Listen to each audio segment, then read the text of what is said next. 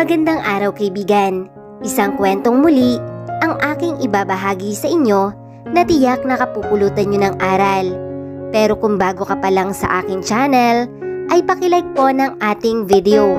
Pakiclick ng subscribe button, gayon din ng bell icon para lagi po kayong updated sa mga parating pa na upload.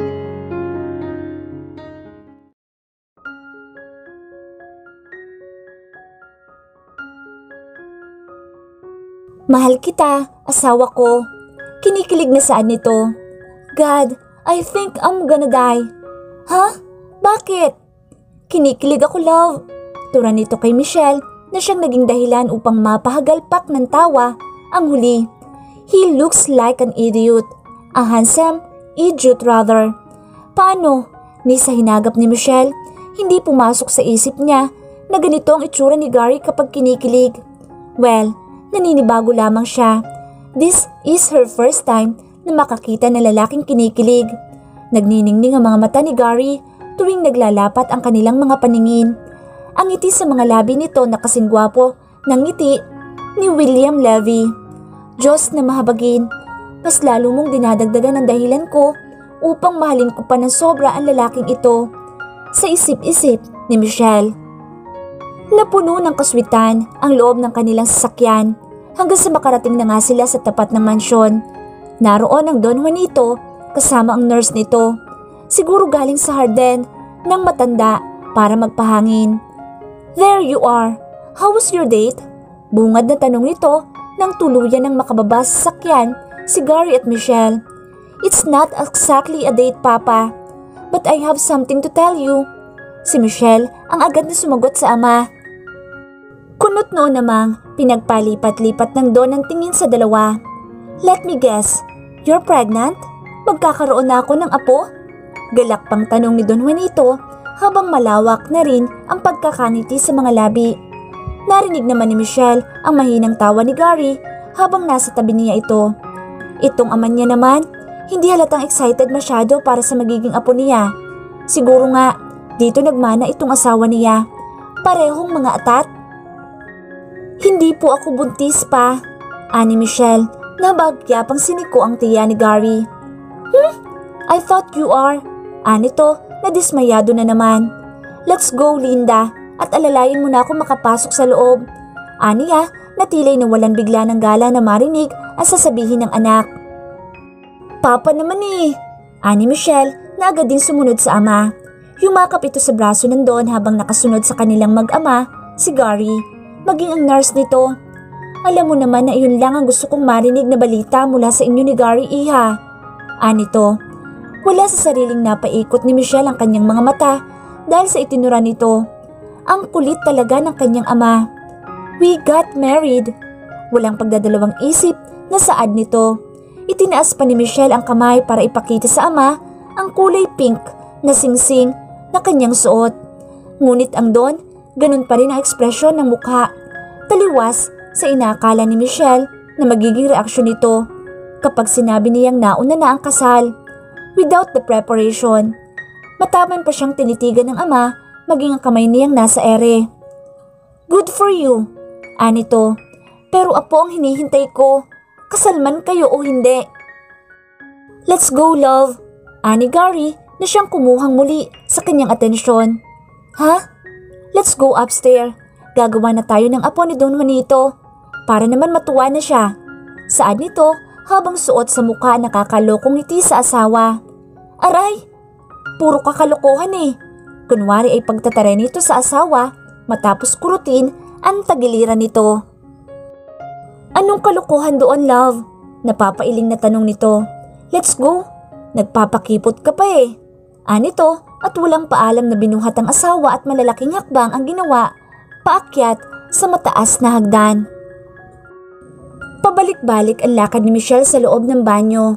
Hindi mapakali at hindi makapagdesisyon kung lalabas ba siya sa banyong iyon o mas pipiliin na lamang na magkulong doon hanggang sa umalis si Gary. Ngunit paano naman mangyayari iyon? Gayong silid iyon ng lalaki at malamang na kanina pa ito naghihintay sa kanya sa labas ng pinto. Love! Michelle! There he is, calling her name. Are you not done? Tanong ni Gary na kumatok pa sa likod ng pinto. Love, kanina ka pa dyan. Are you okay? Tanong nito at hinawakan ang seradura para buksan sana ang pinto. Ngunit takalak naman iyon mula sa loob. Michelle! Ha? Ah, oo, patapos na ako, love. Wait lang. Pagdadahilan nito. Hurry up, love. Kanina pa ako naghihintay dito. Saan nito at napapahawak na lamang sa kanyang batok habang nakatingin sa saradong pinto. Muli itong naglakad pabalik sa malapad na kama. Umupo sa gilid noon. Samantalang sunod-sunod naman na nagpakawala ng malalim na buntong hininga si Michelle bago ito napasyang buksan ang pinto. Dahan-dahan na humakbang palabas para lamang makasalubong ng kanyang paningin ang mga titig ng lalaki sa kanya. Titig na kakaiba ang dating sa kanya. Pakiramdam ni Michelle, tumatagos iyon hanggang sa kaibuturan niya. Hindi niya tuloy maiwasan ang mapalunok ng sariling laway habang naglalakad palapit sa kinaroroonan nito. What took you so long, love? Tanong ni Gary sa kanya. Ah, uh, ano? Ang init kasi, kaya nagbabad muna ako sa bathtub. Pagsisinungalin nito, salip na tuluyang lumapit sa asawa, umikot sa kabilang dako ng kama si Michelle at doon ay patalikod ang upo mula sa asawa. Bakit nakatalikod ka sa akin? Nagtatakang tanong ni Gary. Pakiramdam ni Michelle, tinatambol ng malakas ang kanyang dibdib, lalo na nung maramdaman niya ang paglubog ng kama. Hudyat na sumampa doon ang asawa. Maya-maya pa'y bigla na lamang pumulupot ang mga braso nito sa kanyang bewang, dahilan upang mapaigtad siya sa gulat. Bango mo naman, pabulong na saad sa kanya ni Gary habang sinisingot-singot nito ang kanyang buhok, maging ang kanyang balikat at leeg. Ramdam ni Michelle ang mainit na hininga nitong tumatama sa kanyang balat. Init ng hininga nitong nagbibigay ng kakaibang pakiramdam sa kanya. Pakiramdam ng babae, magkakaroon ata siya ng stiff neck dahil sa hindi niya magawang igalaw ang leeg habang inaamoy iyon ng kanyang asawa. Love, masuyong bulong sa kanya ni Gary. Damn it, sa isip-isip ni Michelle, bakit ba pakiramdam niya talaga ay inaakit siya ni Gary ngayon? Ang sexy ng boss nitong bumubulong sa kanyang tenga. G Gary, yes love, just say my name. Anito at mas lalo pang kinabig ang asawa upang iparamdam dito ang nag-aapoy niyang katawan. Jesus, he's been longing for this moment. Ang tagal din ng kanyang hinintay para sa pagkakataong iyon. Ngayon, Naasawan niya na si Michelle. Hindi niya na palilipasin ang gabing iyon na hindi niya makukuha ang asawa. Oh Michelle, tila'y nahihirapan na sambit nito sa pangalan ng asawa. Pagkuway, hindi na napigilan ang sarili na halikan ito sa batok hanggang sa lieg nito. Maging ang mga kamay nito na nagsimula na rin kumilos at maglakbay sa tiyan ni Michelle papunta sa mga braso nito. Tila pinapakiramdaman pa ang babae kung tututol ba itong muli o hahayaan siya sa gusto niyang mangyari. Ilang saglit pa ang inubos niya sa paghalik sa leeg at balikat nito bago niya ito pinihit paharap sa kanya at agad na sinalubong ang mga labi nitong takam na takam niyang tinikman. Hindi naman tumutol si Michelle. Sa halip ay iniyakap nito ang mga braso sa kanyang leeg at masuyong tinugon ang kanyang mga halik. Diyos na mahabagin, ito yung halik na lagi niyang napapanaginipan noon pa man. Ang mahinhin itong halik ngunit puno ng pagmamahal. Hindi man eksperto ang babae sa ginagawa nitong pagtugon sa mga halik ng asawa, ngunit sapat na iyon upang tuluyang buhayin nito ang init at pagnanasa sa buo niyang katawan. Oh love, I love you. Bahagya siyang lumayo dito upang sumagap ng hangin. I love you too, Gary. Please, Take me. Nahirapan ding saad ni Michelle na siyang ikinangiti na lalaki. I want you now, Michelle. I want you.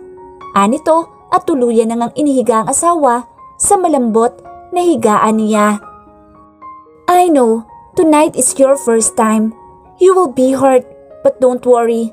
I know how to handle first time like you, love. Nakangiting tura nito sa asawa. Hindi man sabihin sa kanya ni Michelle na kinakabahan ito sa ritual na kanilang gagawin sa gabing iyon. Nababanaag niya naman iyon sa itsura nito. P- Please be gentle. Ang boses nitong nakikiusap sa kanya. Sa halip na sagutin ng asawa, isang masuyong halik ang iginawan nito sa noon nito bago nito muling sinakop ang mga labi nito. Nagising kinabukasan si Michelle dahil sa masuyong paghaplos sa kanyang pisngi. Pagkabukas pa lamang ng kanyang mga mata ay ang gwapo at nakangiting mukha ni Gary ang agad na bumungad sa kanya. Morning, sleepyhead. Bati nito sa kanya. anong oras na, love? Tanong nito habang papukat-pukat pa ang mga mata. Alas 11 na, love. Are you okay? Get up para makapag-almusal na tayo. Anito at bahagya pang inayos ang buhok ni Michelle na sumabog sa tapat ng mukha nito. Aray! Daing nito nang kikilos na sana siya upang umupo sa kama. Agad naman na naging alerto si Gary para alalayan siya. I'm sorry love, still hurt? Nag-aalalang tanong nito makalipas ang ilang saglit. Nakakunot pa rin ang noon nito habang nakatitig sa asawa. Pinagod mo kasi ako kagabi eh. Kasalanan mo to. Kunwari ay paninisi ni Michelle sa asawa. Sorry, hindi mo naman ako masisisi love. Last night was perfect. I didn't expect that you were wild. Your scandalous kisses and actions on bed are great. Kung hindi ko pa alam na ako ang una sa'yo, iisipin ko na expert ka pa kaysa sa akin. Panunod yun nito sa asawa na siyang bumuhay muli sa pag-iinit ng mukha nito. Che, manahimik ka nga dyan. At sabihin mo manyak ka talaga. Mantakin mong alasin ko muna ako nilubayan. Anito, Look, I even got these bruises. Saan nito at ipinakita pa kay Gary ang mga brasong may pasa. Yeah, last night was full of scandalous kisses and actions. Makikita naman sa katawan ni Michelle resulta.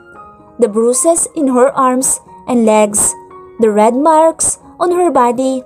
Parang kahit saan ata ay nilagyan siya ni Gary. Really sorry, love. I was excited. You know, I've been waiting for that long. And I am happy right now. Thank you. Anito at mabilis na dumukwang sa mukha ng asawa para halikan ito sa mga labi. I love you. Yeah, I love you too. Nakangiting tugon ni Michelle. At dahil kasalanan mo naman to, buhatin mo na lang ako papasok sa banyo. Gusto kong maligo. Utos nito sa asawa. Of course, No problem, love. Gusto mo? Ako na din na magpaligo sa... Bubuhatin mo lang ako, papasok, at pagkatapos ay lalabas ka na din. Kaya ko maligo mag-isa. Hindi ako baldado. Mabilis na saan nito para putulin ang pagsasalita ng asawa. Sabi ko nga, bubatin lang kita, mahal na Reyna. Aniya na ikinangiti lalo ni Michelle. Medyo nakaramdam siyang muli ng pagkailang nang tanggalin ni Gary ang makapal na kumot na nakatabing sa kanya at muling humantad ang katawan niya sa paningin nito. Wow! Morning view are great! Pabulong na saan nito bago nagkagatlabi at kumindat sa asawa. Huwag mo nga akong paglaruan dyan, Gary. Kunwari ay galit-galitan na saan niya dito para lamang itago ang hiya at pagkailang sa asawa. Sorry, nakakadistract ka kasi eh. Turan pa nito bago siya tuluyang binuhat at dinala sa banyo. Call me when you're done, love, okay? Thank you. Love, are you done? Nagugutom na ako. Dinig niya ang boss ng asawa sa labas ng banyo. Maya-maya pa ay bumukas ang pinto at sumilip ito doon. I'm almost done. Huwag kang pasaway dyan. Close the door. Alam ko yung mga tingin mo eh. Ani niya na siyang ikinahagalpak ng tawa ni Gary bago nito isinara ang pinto. Love, Tawag ni Gary kay Michelle nang pumasok ito sa kanilang kwarto. Where are you? Tanong nito pagkuway umupo sa gilid ng kama nila. Nasa banyo pa ako. Sigaw na tugon naman ang huli. Maya-maya ay lumabas din ito habang ipinupusod ang buhok gamit ang isang tuwalya niya. Bakit love? Tanong nito. Wala sa sariling biglang napatayo sa kinauupuan niya si Gary nang makita ang asawa. Napapasipol pa itong pinasadahan ng tingin ang kabuuan ni Michelle. Hay, huwag mo nga akong tingnan ng ganyan. Ani Michelle sa asawa na kunwari ay naaasiwa sa klase ng ngiti at mga titig nito. Sa halip na sumagot si Gary, mas lalo pang lumawak ang pagkakangiti nito sa labi at inilang hakbang ang pagitan nila. Walang paalam na hinila ang asawa gamit ang bewang nito. Are you trying to seduce me, love? Nakakalokong tanong nito na sinabayan pa ng pag-amoy sa gilid ng mukha ni Michelle. Anong trying to seduce you ka dyan? Magtigil ka nga, Gary. Hindi pa nga ako okay dahil sa pinagagagawa mo sa akin nung nakaraang gabi eh. Ani Michelle na idinaan pa sa pagsusungit ang pagkapahiya sa asawa. Naramdaman niya rin kaagad ang pag-iinit ng kanyang pisngi.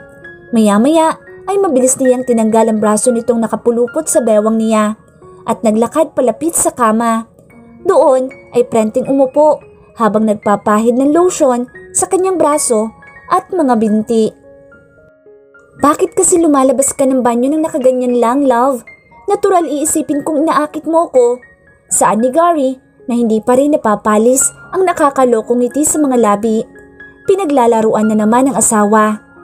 Malamang at kwarto ko na din tong kwarto mo. Ano sa gusto mo? Sa kabilang kwarto pa din ako matulog para... I mean no love. Ito naman, hindi na mabiro. Of course, I'm just teasing you. Putol nito sa iba pang sasabihin ng asawa. Mabilis din itong naglakad palapit sa kanilang higaan at tumabi kay Michelle. Kinuha sa kamay nito ang bote ng lotion at siya na naglagay noon sa binti ng asawa. By the way, love, is it okay kung hindi na muna ako makakasama sa iyo para kausapin ang wedding organizer natin? Tumawag kasi si Brando kanina. Kailangan kong magpunta sa planta. May kailangan lang ayusin. If okay lang, pasasamahan na muna kita kay Tanya at Bev. But hahabol ako kapag naging maayos na ang trabaho ko doon. Saan nito sa asawa habang abala pa din sa ginagawa. Ganun ba? Oo sige, wala naman lakad ang dalawang yun. Mas importante din ang trabaho sa planta. Salamat love. Just call me if you need anything okay? Pasasamahan ko na rin kayo kay Henry. Hindi na. Kaya naman naming tatlo eh ani Michelle. I just want to make sure na magiging maayos ang bayahin ninyo papuntang bayan. Ayoko lang na may mangyaring masama sa asawa ko.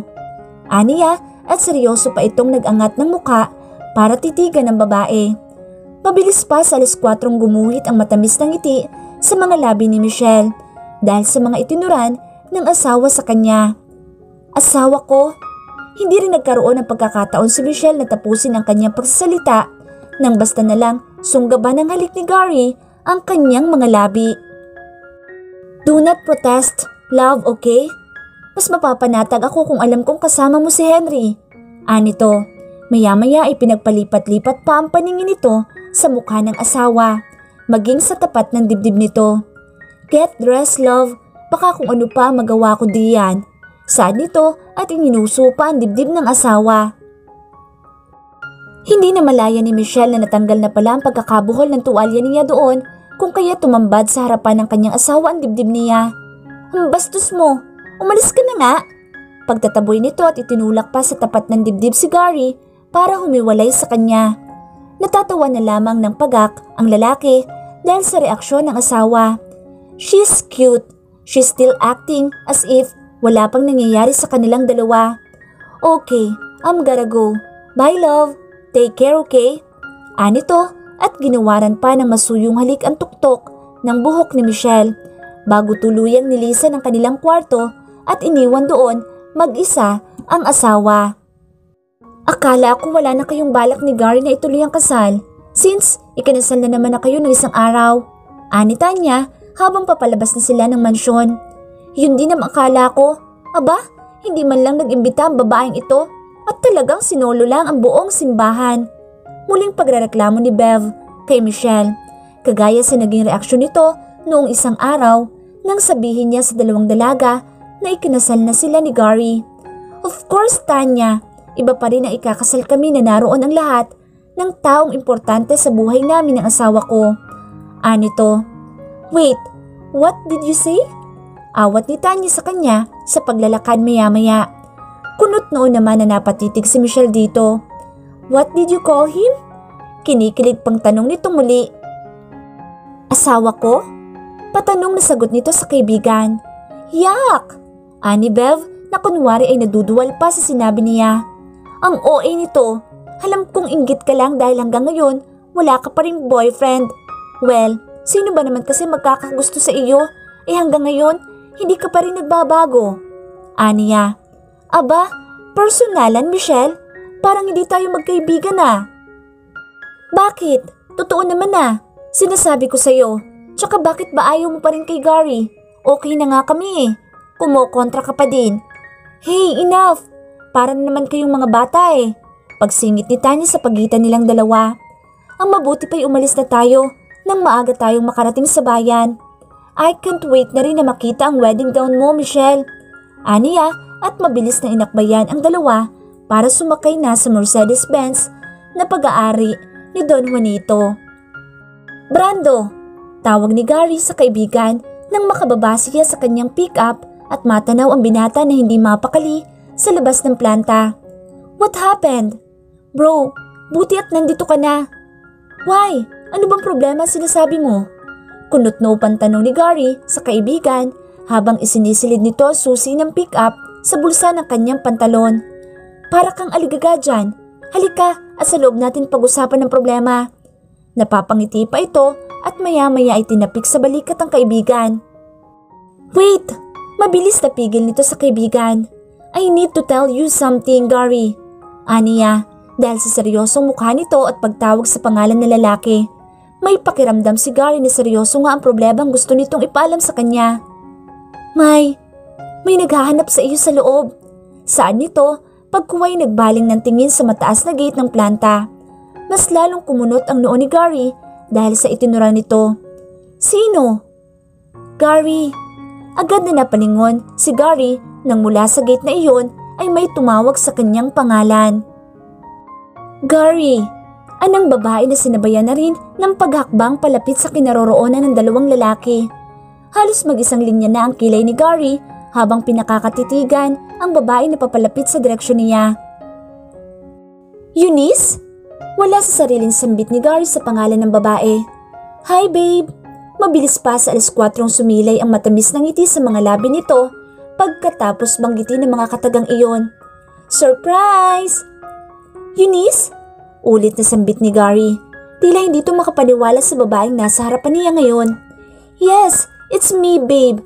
Eunice! Grabe, apat na buwan lang tayong hindi nagkita pero mukhang nakalimutan mo na agad ang pangalan ko. Natatawa panturan sa kanya ng babae. Don't you miss me? What are you doing here? Sa halip ay tanong sa kanya ni Gary. Muling napangiti ang babae dahil sa naging tanong sa kanya ni Gary. What kind of question is that? Of course, I'm here to see you, babe. Anito. Come on, Gary. Ngayon na nga lamang tayo nagkita tapos ganyan pa ang mga tanong mo sa akin. Are you not happy to see me? Tanong nito at biglang nakaramdam ng pagkainis sa lalaking kausap. Agad din itong namewang sa harapan ng dalawang lalaki. I'm sorry bro, hindi ko din alam.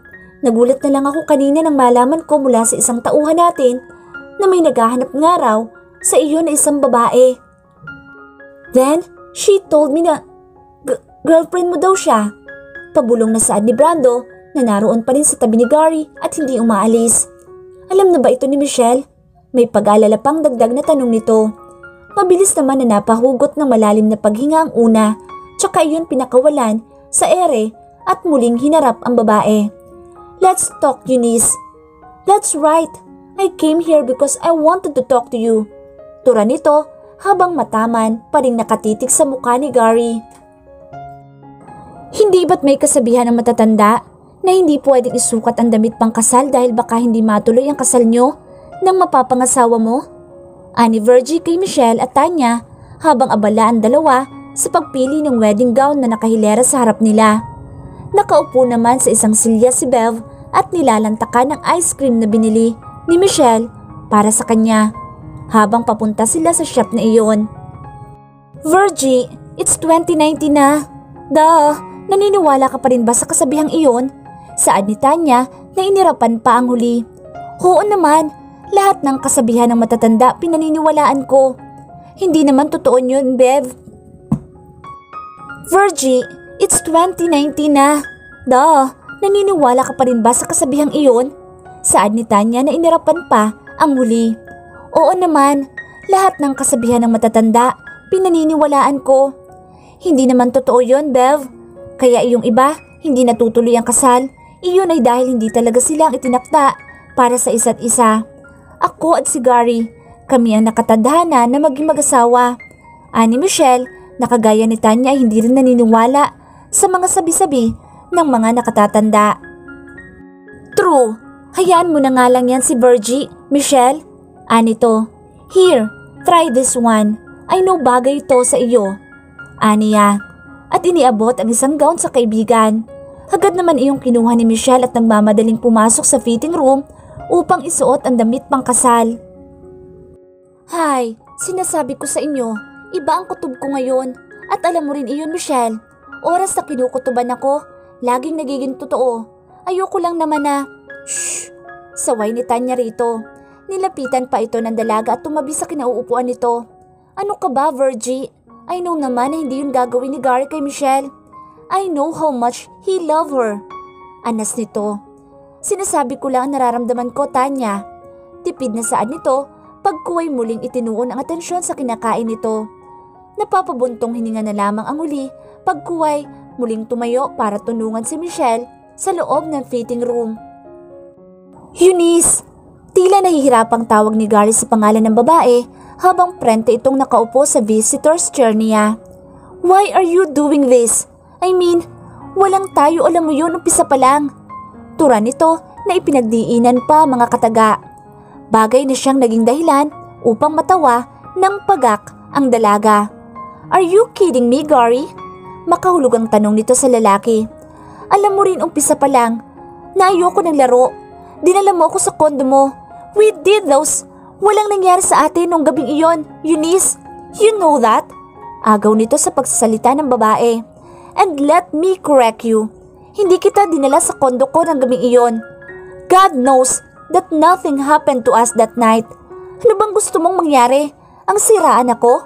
Ani Gary, napilit pinipigilang pakalmahin ang sarili. Unti-unti na ring lumalabas ang mga ugat nito sa leeg dahil sa pagpipigil na masinghala ng kausap.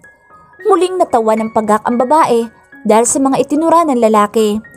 Tila pinaglalaruan siya nito dahil sa klase ng tawa sa kanya, maging ang mga kakaibang titig ng mga mata nito sa kanya. Ako ang nasa tamang pag-iisip ng gabing iyon, Gary. You were drunk, kaya hindi mo namalayan ang mga nangyayari. Okay, fine. Sabihin na natin may nangyari nga. Anong dahilan mo para muling magpakita sa akin ngayon? Gusto ko lang naman na panagutan mo ako, Gary. Walang pag-aalinlangan na saad nito sa mukha ng lalaki. Agad na napakunot ng malalim ang noo ni Gary at napatitig ng seryoso sa mukha ng kausap. What is she talking about? What do you mean? Tanong nito kahit nagkakaroon na siya ng kaunting ideya sa kanyang utak kung ano ang gusto nitong sabihin sa kanya. I'm pregnant, Gary. I want you to take your responsibility to me. Are you insane, Eunice? You're crazy. Paano ko naman gagawin ang responsibilidad ko sa'yo? Gayong alam mo naman sa sarili mo na hindi ako ang ama niyan kung sakaling nagsasabi ka nga ng totoo sa akin. Ani Gary na napatayo pa sa kinauupuan niya. Agad na naihilamos sa mukha ang sariling mga palad. Please, huwag ka namang gumawa ng istorya na ikasisira ko at sa relasyon ko sa asawa ko. Anito na biglang naging malumanay ang tono ng boses. Paano naman kasi mangyayari na nabuntis niya si Eunice at siya ang ama gayong alam niyang tatlong taon na siyang hindi nagdadala ng babae sa kondo niya. Oo, aaminin niyang dati gawain niya iyon. Of course, lalaki lamang siya at may mga pangangailangan sa sarili. Lasing man siya noon, nang gabing umalis sila ni Eunice sa birthday party ni Tanya, mahigit apat na buwan na nakakalipas. Pero, Gary knows na walang nangyari sa kanila ng babae. So, may asawa ka na pala? Bali walang tanong nito. Agad na pumasok sa utak ni Gary ang itsura ng kanyang asawa. Isipin niya pa lamang oras na malaman ni Michelle ang tungkol sa sinasabi ni Eunice ngayon sa kanya. Alam niyang labis niya itong masasaktan. Mas lalo itong magagalit sa kanya at may posibilidad na hindi nito ituloy ang kasal nila. At syempre, hindi niya iyon papayagang mangyari. Eunice! Eunice! Totoo nga? Muling tanong nito. Gary, anak mo ang batang nasa sinapupunan ko. Hindi ako uuwi nito sa Santa Isabela kung hindi ako sigurado na ikaw ang nakabuntis sa akin.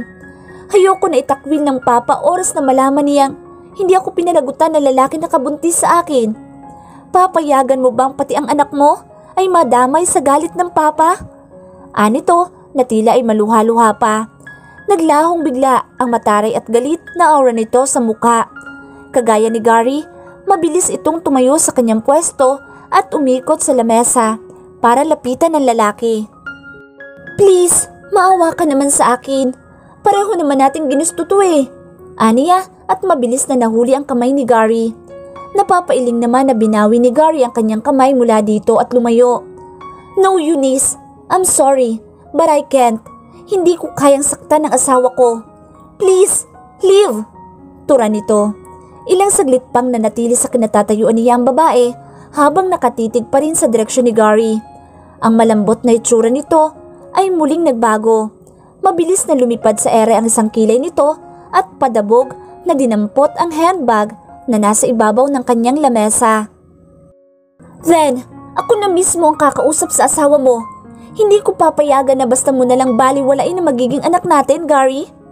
Ani Eunice bago ito tumalikod at padabog na isinara ang pinto ng opisina ni Gary. Napapabuntong hininga na lamang ang huli na muling umupo sa kanyang swivel chair. Nasa batok nito ang dalawang kamay habang nakatingala sa kisame na tila ay nahahapo.